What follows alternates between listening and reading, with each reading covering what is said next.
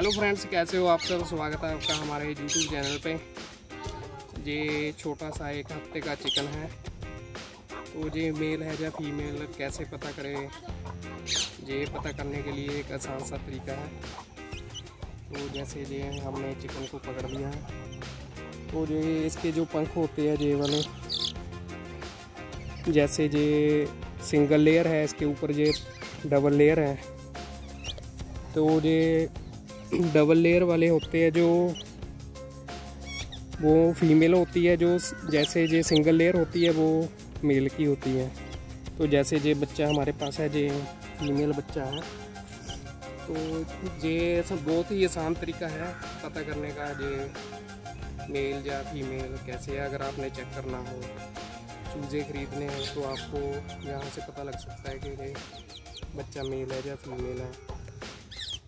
तो ये देखो कितना प्यारा सा सुंदर सा चिकन है। और देख सकते हैं। जैसे जे इसके पंख से पता चल जाता है।